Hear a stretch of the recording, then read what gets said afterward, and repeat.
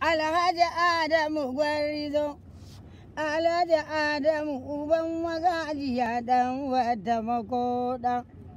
Na zo gidan asibitin mun gana, to Allah ya ba mu tare da Zainab ita ma. Alhaji Adamu, ko ba shi a kusa? Yana jin ki. Ina jin ki hajiya.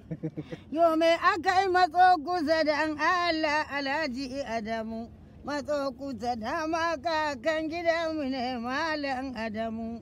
Har abada ba za in fasa faɗar ado ba.